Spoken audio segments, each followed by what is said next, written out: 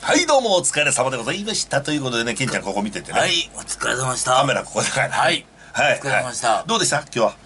今日はいろいろとマラソン大会とかあって、いろいろとちょっと喋って、ちょっと疲れましたね。大会やったわわけじゃないんだから。はい。うん。喋りすぎて疲れましたね。疲れてた？ほらやっぱ疲れてんじゃねえかお前いや、疲れてないです。いろいろとトークとか対象がつ何が突っ込んでくるかわからないので、最近ヒヤヒヤヒヤ。緊張感あっていいだろ？あ、緊張感になってきました。うん本当に。はい。俺の顔見て喋んじゃねえかカメラあ、カメラ、緊張。はいということでですねはい北田良一さんでしたなんだかよくわからない